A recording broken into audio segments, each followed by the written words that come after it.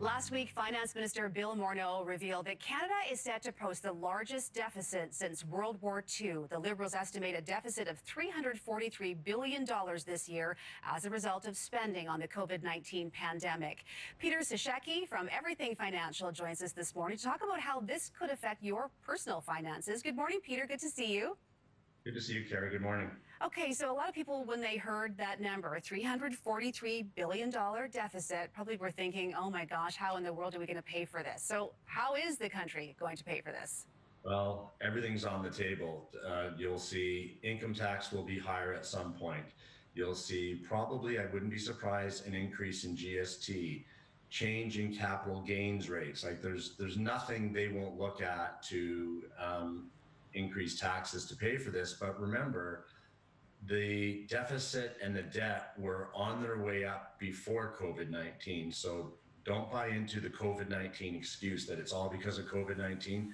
There was a lot of fiscal irresponsibility before that. And of course, these items needed for COVID 19 have just made it worse. Right. All of these um, um, uh, handouts to people to uh, help keep people Everywhere. employed and to help uh, keep companies with uh, uh, people on the payroll.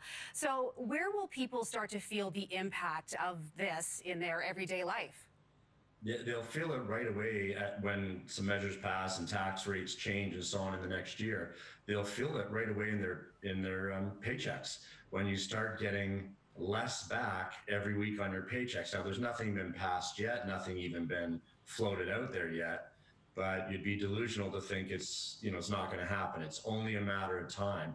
And corporations will probably feel it with feel it with changes in tax rates. But if you start to attack the people who are employing people, that will hurt the bottom line because if you can't hire people, those people can't pay taxes. So it's a slippery slope that the liberals will probably go down to try and raise taxes. And there are uh, some programs that are still in place, but you know, as we move along here in this process and try to get the economy going again, how long do you think until we start to um, feel the impact of maybe the raising of the taxes or, or some of the things that you've mentioned? Probably by the end of this year, but people can help. And one of the, and I don't want to sound where I don't care because I do, because I, I, know a lot of people in these situations, but people can help. And the best way people can help is get off the CERB if you can and get a job. And I was out last night with some business owners and they're just screaming to get employees. They can't get people. And they say, well, the employee worked part time making $1,700 a month, you know, students in a lot of cases, university students, et cetera, or just part time employees and said, well, why would I go back to work for 1700 a month if I can continue to collect 2000 a month? So we say don't make emotional decisions when it comes to finances.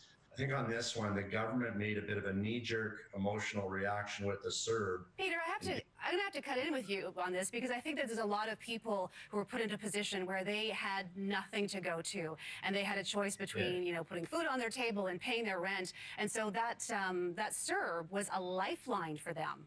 For those ones, absolutely. But for the people who had jobs, that we know of cases, a lot of people who just left their jobs because I'll take the CERB instead. And now the employers are saying, come back. So we're encouraging people, those who can and get a job, get a job because the unfortunate thing with the CERB is it's going to have to end at some point.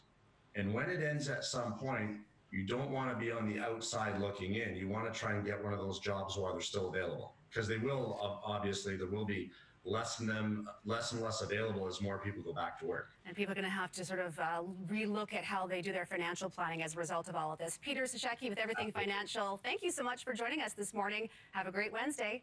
We'll see you Thanks, next week. Thanks. Have a great day. Thanks, Peter.